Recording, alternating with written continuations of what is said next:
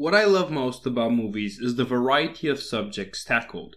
If you feel like watching a revenge story, there's plenty. And if you want to watch a film that is just simply imitates life, there's plenty of those too. So I decided to make a list for those viewers who want to watch more films which feel like real life. By the by, I'm the movie guy and let's start this list. Number 5, Brigsby Bear. This one might be the weirdest film on this list and maybe the only one that feels a little bit out of place. James was living in an underground bunker with his parents who kidnapped him. He gets freed by the police and delivered back to his real parents where he struggles to connect. He becomes so passionate for filmmaking that he decides to make a movie out of the only TV show that he knows, Brigsby Bear. It's a very original movie, bonkers are sell, and at times it's hard to believe. The film could be described as a comedy, however, the director doesn't let it be just a comedy. My biggest gripe with it is that it goes for more of a traditional trajectory, not in line with the crazy concept. Number 4 Columbus. A lot of these films are going to be indies because the intended audience is incredibly niched, and I think big studios just don't see a way to make big bucks.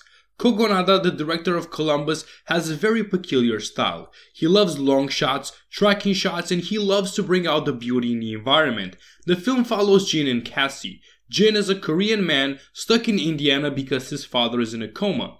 Casey loves architecture and has her own dreams that she can't pursue. They meet and form a bond quiet, gentle. It's an incredible experience for those who have the patience for it. Nothing is rushed and that's good. Couple that with a script that makes the film feel more like a documentary and you got yourself a character study of realistic beings. Number 3, The Fits. It might take a while to see the direction in which the Fits is going. Toni is an 11 year old who trains at a gym and has aspirations to join the dance team. She struggles to fit in, while the girls begin to suffer fainting spells. Nobody knows why these feats are happening. They first think it's the water, but they are quickly proven wrong. It's a short film at 72 minutes, but it doesn't need more time to tell its story. It's another indie gem made for a specific niche audience, but it's one of the best coming of age stories that you could find. It's a great psychological representation of childhood, even though we never hear Toni's thoughts. This is an abstract film. I haven't seen anything like this before, but I think those who are looking for those slower paced, lifelike films will love this one. Number 2 Pariah. Most of these films are pretty new, but Pariah is the oldest one on this list, being released in 2011. A Brooklyn teenager juggles conflicting identities, heartbreak, all in a desperate search for sexual expression. The film starts incredibly strong, showing off the script, the fantastic acting, and the link between this coming of age and coming out story. Alike struggles to come out to her parents. Adepero Oduye keeps this film together as it needed a strong performance, and that's what it got. The film shows off the adolescent emotions perfectly, from heartbreak to joy, all the way to confusion. It feels like a page out of real life, and this could be someone's true story. And number one, The Florida Project.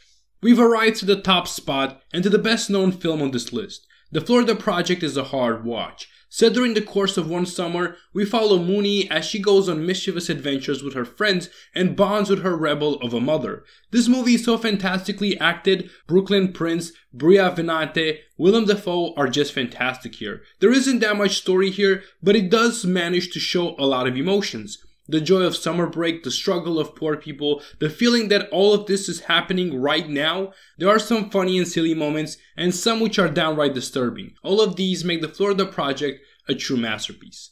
Which of these films are you planning on watching? Let me know down in the comments. While you are there, press that like and subscribe button. Press the bell to get notifications every time my videos get uploaded. And until next time, keep on watching movies, guys.